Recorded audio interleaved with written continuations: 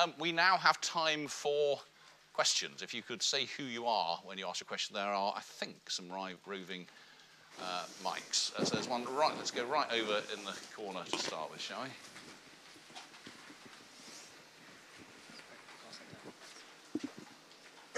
Uh, thank you. It's uh, Richard Partington from The Guardian. Um, just wanted to ask why the earnings of the top 0.1% are rising faster, um, and what that says about the structure of the economy and the way it's been changed over the past 10 years. I'm not sure if we know. I mean, remember the top 0.1% are on several hundred thousand pounds a year. The top 1% we're looking at sort of 150,000, but the 7.1% we're looking at several hundred thousand. So we're right at the top of the um, uh, right at the top of the distribution uh, there. Um, I think it is important, as I said, to put this in the context of certainly six or seven years in which we weren't seeing that. We weren't seeing the top 1% um, pulling away from the rest, as we did actually for 20 years before the crisis when they were, um, where, where, where, they were pulling away. Whether this is uh, a sense of you know, a return to normality at that point, um, I don't know. Uh, whether there are you know, particular shortages in some of those um, areas? Uh, I don't know. We know that there are all sorts of issues around C CEO pay and pay in the financial sector. Maybe they're returning back to where they were uh, pre-crisis. But I, I, don't know whether Carl or Jonathan have any other thoughts on that. No. Questions there. Here at the front.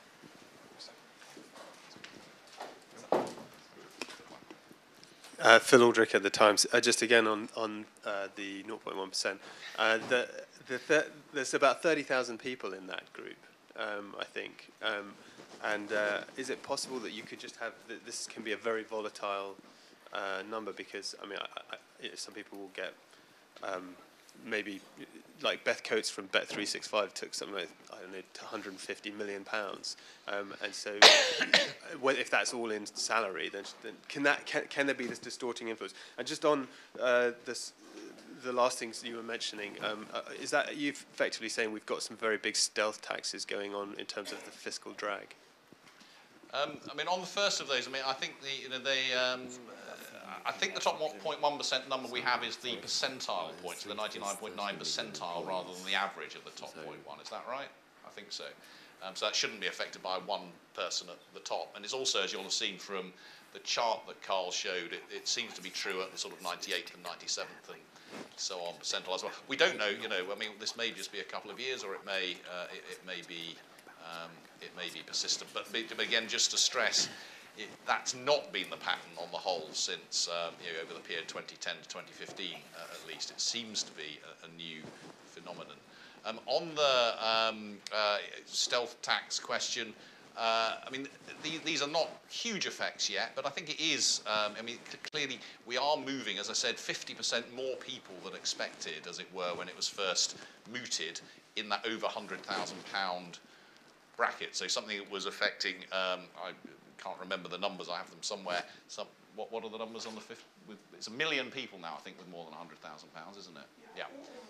So there's about a million people now, um, quite a large number, with um, income of more than £100,000.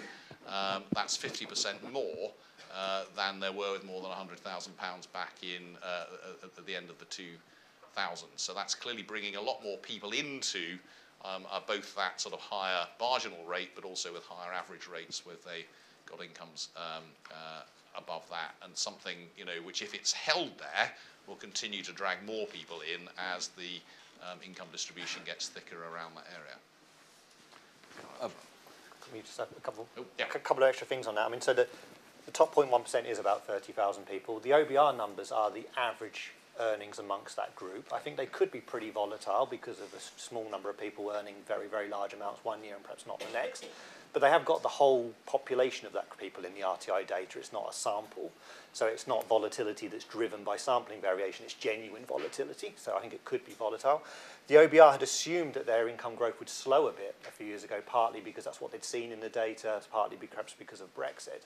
Um, so even if they grew at the same as everyone else, it would mean that the forecast would improve a bit, I think. Um, on the failure to index, I think it's worth noting with the child benefit takeaway, originally the policy was to take it away from families that contained a higher rate taxpayer. Because there was a some Conservative MPs unhappy about that, Mr Osborne changed it to be 50,000.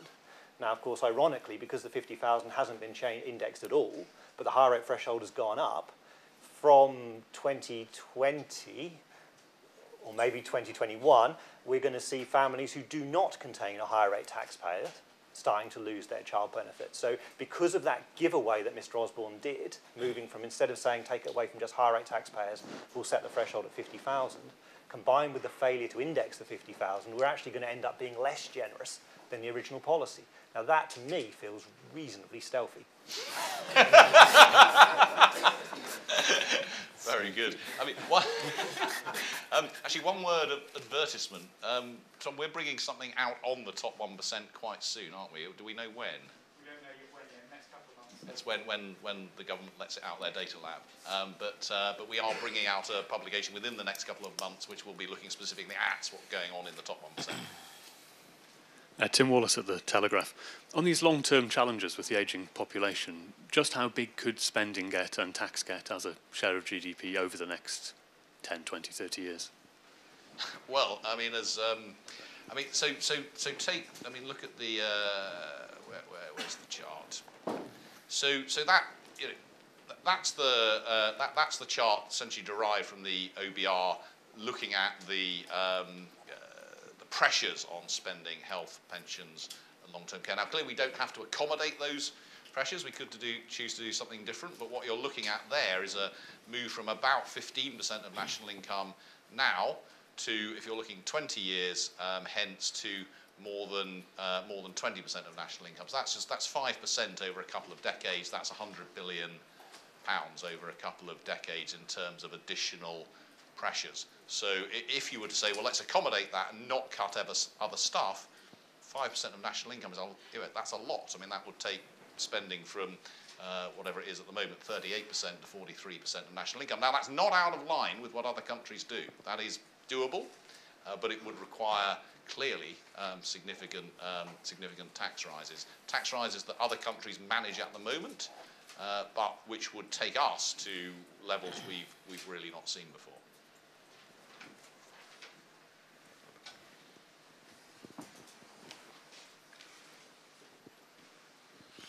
Um, the definition of austerity as squeeze on spending by government departments is one definition, but a lot of people might also include the benefit freeze in that, and you've highlighted that.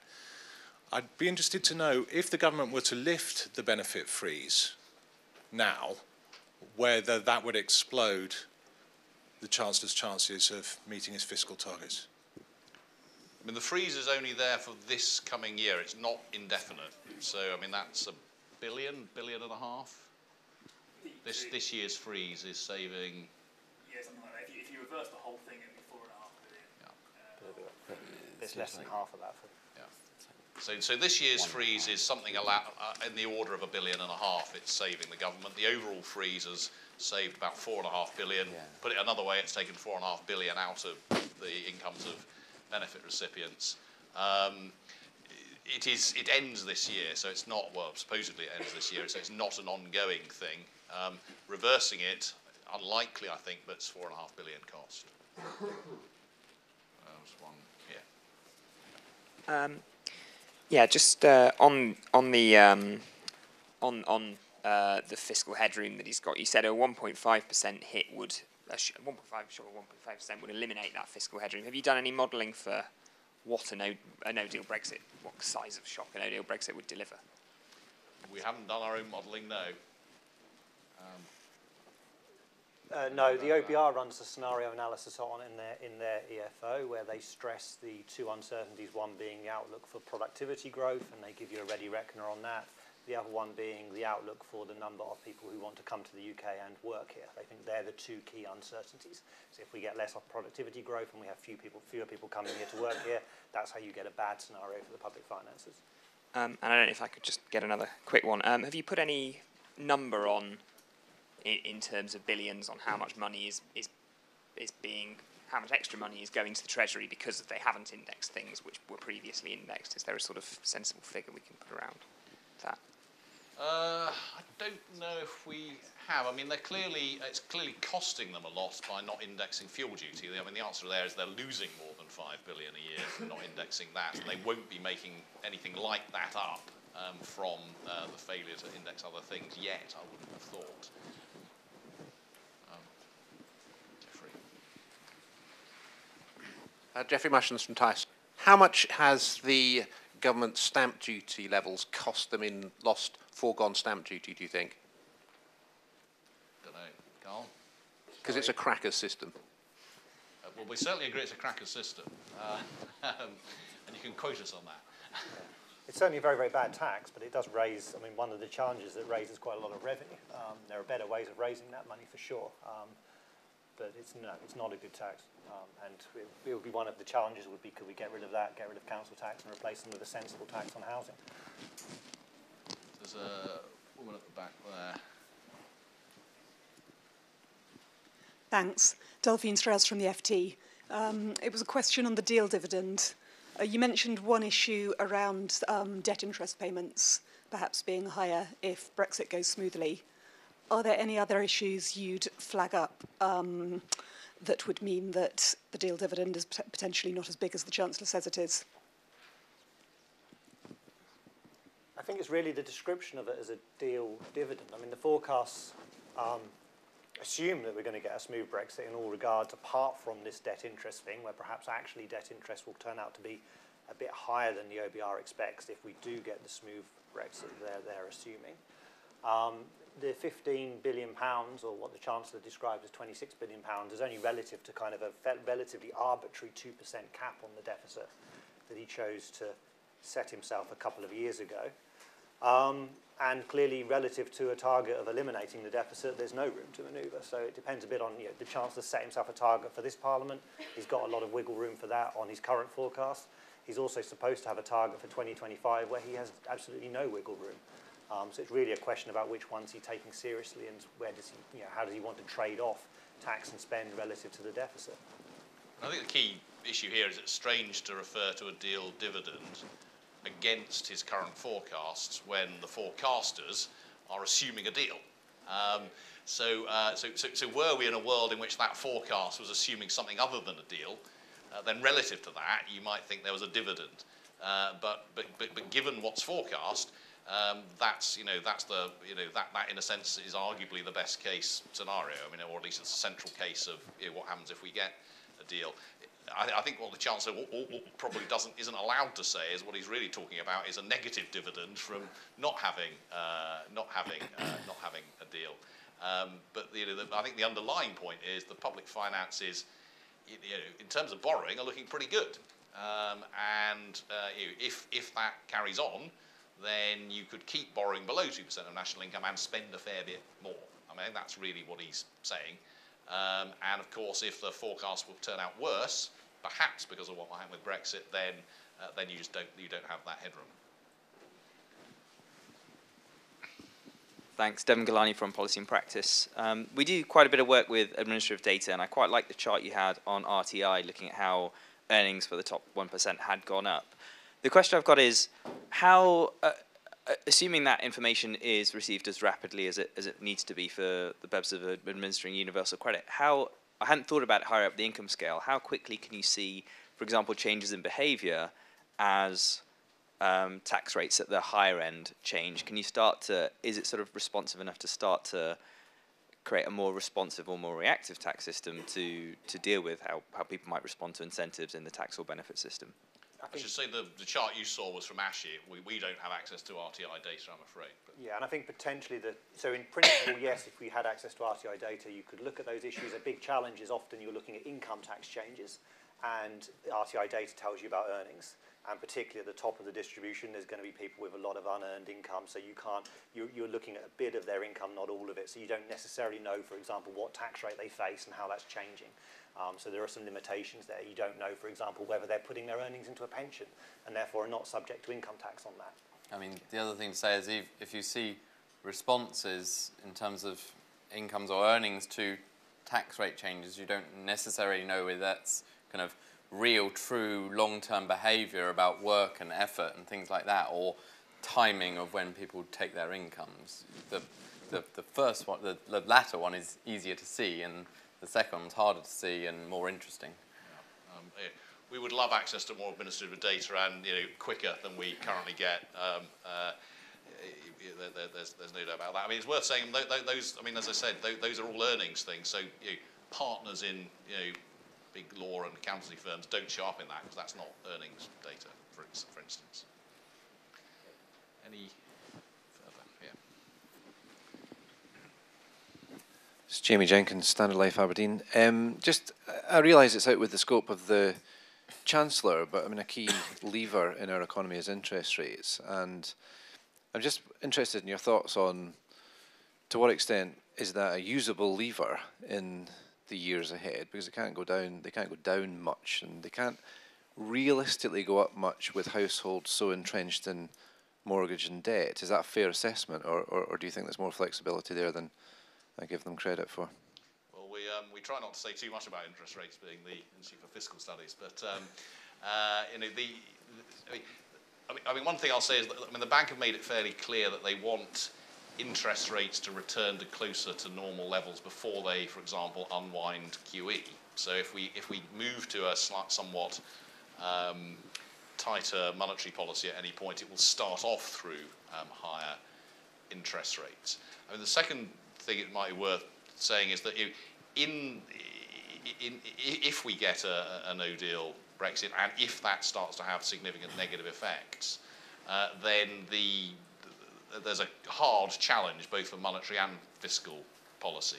Because if those negative effects are on the supply side, you, uh, problems at ports and getting stuff in and shortages or what have you, then sticking loads more money in people's pockets is actually going to make things worse because it will increase um, inflation. Equally, it, you might expect it also have a demand effect, in which case you might want to be easing monetary or, or fiscal policy. Um, how, how that plays out, and this is one of the reasons why, um, you know, I think some of the messages from the bank have looked quite difficult to interpret because the uh, because they because they this is a difficult question that they that they will face. I mean, you know, I think everyone in a sense wants interest rates to return at some point to something more like normal um, levels, uh, but you know, all bets are off as with everything else until we find out what happens, um, you know, post March the 29th and you know years thereafter.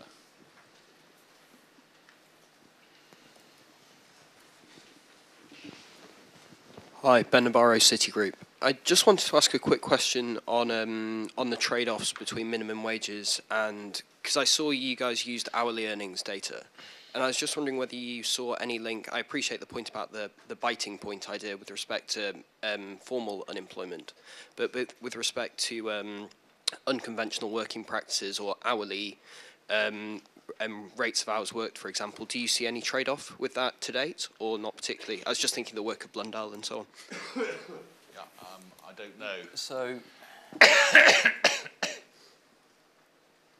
my understanding is that, like the impact, so theoretically, uh, just in the same way as you could have effects on employment, you could have effects on not necessarily the number of people in work of a, of a minimum wage, but the number of hours of those who are in work.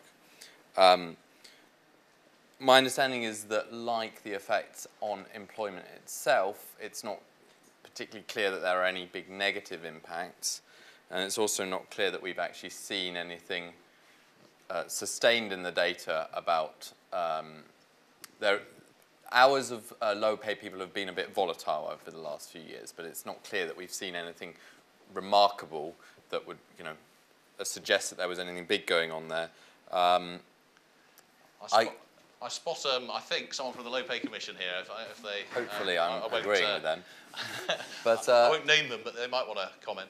I was going to say about unconventional working. You know, there are going to be there is a uh, minimum wages affect employees and not self-employed people. Uh, there are going to be various different effects when you increase minimum wages on employees, but that don't affect self-employed people. That might, for example, increase an incentive for firms to try and organise their labour to uh, use self-employed people where they don't have to pay the minimum wage as opposed to the minimum wage. it could also lead to people who are self-employed, instead of you know running along at a small, barely unproductive business, trying to queue for jobs uh, and wait for jobs that are themselves employed. So there are interesting um, trade-offs here and kind of interactions here um, that are not totally clear what, what way they go. I mean, I think it is, um, you know, the, as you put more regulation on the formally employed labour market, whether that be minimum wages or automatic enrolment or higher levels of national insurance or what have you, the bigger the divide you create between that and being self-employed or a company um, owner manager, and that's a very difficult, a very difficult um, uh, point at which to make regulation bite, and you clearly, you know, you, you clearly create some incentives in, in, in either direction there. Right, is that, um, oh, last one at the front. Um, hi, uh, Imran Hussain. I'm with uh, Children's Charity Action for Children. Um, the poverty rate for children is double that uh, for pensioners. Um, and, and I think in four days' time, it'll be 20 years, I think, since Tony Blair did his big speech about ending child poverty in a, in a generation. Um, I, I'm just wondering, what's your sense of what happened with those two poverty rates for children and for pensioners in the next few years? Jonathan? Or are you perhaps not allowed? I'm, mm, I should, I don't think I should comment. We're, we're working with data that uh, I, I haven't seen this, so I don't know the answer. But Jonathan has seen stuff that he's not allowed to comment on. I mean, I mean, what, I mean, what, what we what we have seen for the last um, you know long period is a very big reduction in pensioner poverty rates as benefits have risen and as more and more have access to private uh, private incomes. Um, if you look at the last sort of decade, actually, uh, between 2005 and 2015, the reduction in pensioner poverty rates has, has, has, has, has, uh, stalled.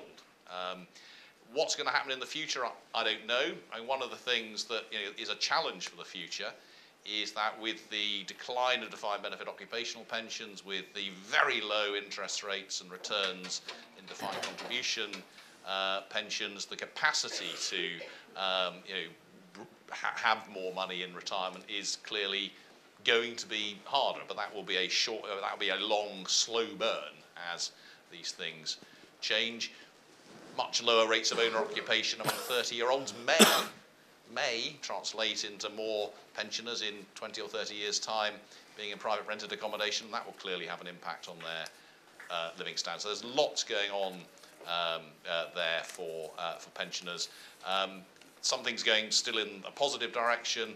Uh, the triple lock, the single tier pension and so on um, is, is helping people at that bottom end. We should probably draw this to a close. It is now um, 11.29. Um, thank you all very much for coming. Thank you particularly for coming, given that you can't have had very high expectations, given the, uh, uh, how little there was uh, yesterday. So thank you so much for giving up your, uh, your morning, and hopefully we'll have some very exciting things to say come October or November after the budget. Thank you very much.